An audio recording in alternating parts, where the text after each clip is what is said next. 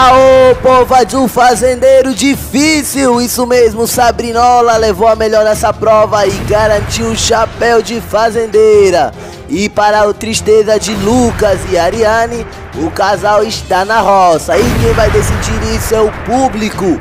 As enquetes já estão querendo indicar quem será o eliminado. Isso tudo e muito mais hoje aqui no Comentando Já Fazendo.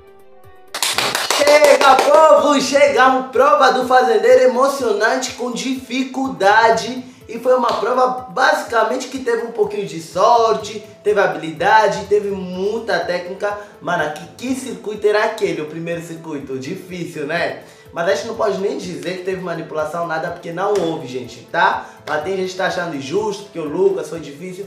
Não, gente, realmente ali foi a sorte de quem terminou primeiro. É, a Sabrina foi rápida.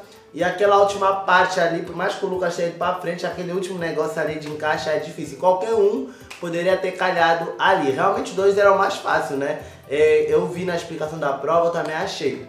Já deixa o seu like nesse vídeo, se inscreva neste canal se você ainda não for inscrito. Big Brother Brasil tá chegando! E é isso aí. Você vai fazer o seguinte também, vai compartilhar o link deste vídeo e você se não é membro deste canal, vai ser membro agora. Deixa o seu super chat aqui na, nos, nas lives, aqui nos comentários, tudo.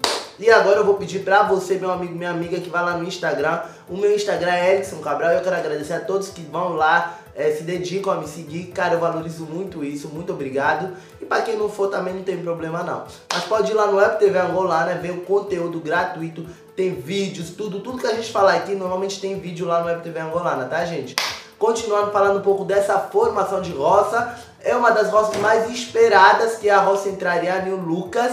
E quem voltar dessa roça, a gente praticamente já vai ter o vencedor da Fazenda 11, tá?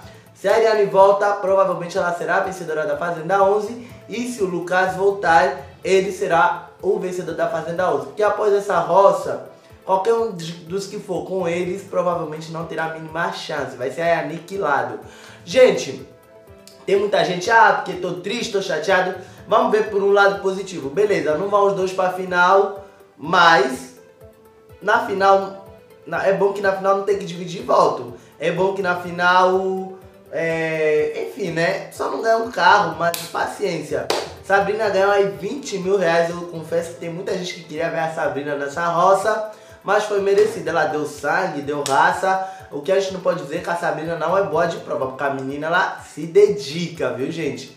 E agora a gente vai ver, porque na próxima roça, independente de quem voltar dessa roça aqui, provavelmente já vai estar na próxima rota. Como é que estão as enquetes?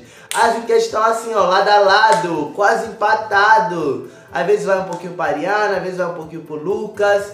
E a gente vai estar tá acompanhando isso tudo e muito mais aqui no Comentando de Fazenda. Amanhã tem, vamos fazer várias enquetes, vamos estar tá vendo isso tudo. Então será uma, uma, é uma das, é a principal roça da temporada, vamos dizer assim, tá? Para quem curtiu essa volta da Sabrina, parabéns para vocês. Para quem esperava a Ariane e o Lucas na roça, parabéns para vocês também.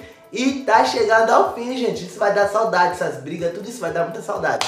Mas o BBB tá aí, tá chegando. Beijo, tchau.